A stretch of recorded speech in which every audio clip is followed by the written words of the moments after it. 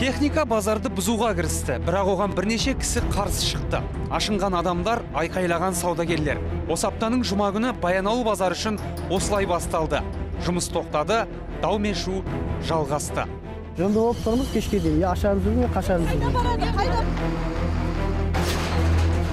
я имеет право шығаруға? Баянауыл туралы қысқаша айта кетейік алдымен. 1990 жылдары бұл алматыдағы ғана емес еліміздегі ең ірі көлік сатылатын базар еді. Содан бері жұмысы жалғасып келеді. Қазір көлік емес сол көлікке қажетті бөлшектердің денін және арзанын осы жерден табасыз. Сондықтан әжептәуір тарихы тұрақты саудагерлер қалыптасқан.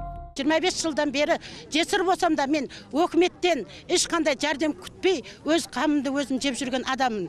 Ал енді бұл базарды жабамыз дейді жапқанда қаншама халық қайда барады Базарда нақты 880 адам ресми түрде тіркелген. Бөлек сауда саттықпен айналысып жүргендерін қосқанда бұл сан 2000-ға жуықтайды екен. Жұрт шулап, ауыр техникаға тосқауыл болатынын алдын ала болжаған сынды. Өйткені полиция қызметкерлерінің де қарасы көп болды. Әуезов ауданының әкімі де өрекпіген саудагерлерді сабасына түсіруге тырысты. Уәдені де аямады. Отыз мың Иә. отыз мың болса қазіргі ана мен айтып отқан рынктарды дәл сол отыз мыңнан асырмай сіздерге дәл осындай условия береді жарай ма кім кім именно сіз апарасыз ба алып барамын мен сізді именно мен апарасыз сізді алып барамын соны төлемейтін қылып бересіз ба мен Төлемейтін қылып беремін. жетім мен он бір Келістік. үшін Базар басшылығы үшін бұл үлкен соққы болып тиген. Өйткені сауда нысаны орналасқан 6 гектар жер азғантай ғана қаржыға бағаланған. Жоғары сотқа шағым жазып, базар үшін күресуге тырысқанымен түк шықпапты. 6 гектар жерде қаладағы 6 гектар жерде 113 миллион теңгеге бағалап отыр. Бұл ә, алматыда ә, үш бөлмелі ала аласың осы ақша- осы ақшаға енді бұл тек қана әлгі жай қойшыға да ә, жаңағы осында жүрген етікшіге де түсінікті ғой. 6 гектар жерменен үш бөлмелі үйдің айырмашылығын айырып алу. Міне бізге қазір соттың шешімімен сондай баға беріп отыр.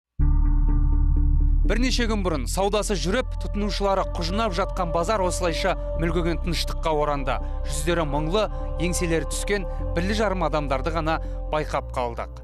Базары тарқат деген осы. Баянауылда абыр-сабыр әлі аяқталған жоқ. Кейбір саудагерлер заттарын тасып әлек кетісіп жатса, кейбіреулері жыл орындарын босатуға құлықсыз. Қала тұрғындары үйренген саудаға ыңғайлы жерден мүлдем кеткілері жоқ ешкімнің. Базар жабылса да контейнерлерін жаппай тұр. Ал болашақта үлкен сауда нысанының орны адам танымастай өзгермек екен. Бұл жерде жаңағы балабақша мектеп стадион салынатын болады. Бұл жердегі жаңағы саудагерлер бұл жердегі біздің жаңағы кәсіпкерлер оларға жаңағы бірнеше осы қаладағы заңды түрдегі істеп тұрған осы базарлардың уәкілдері осы жерде бар. Қай базарға көшеміз не болмаса қай жақтан орын аламыз десе соларға қандай ыңғайлы жағдай болса солар соларға көмектесуге дайын.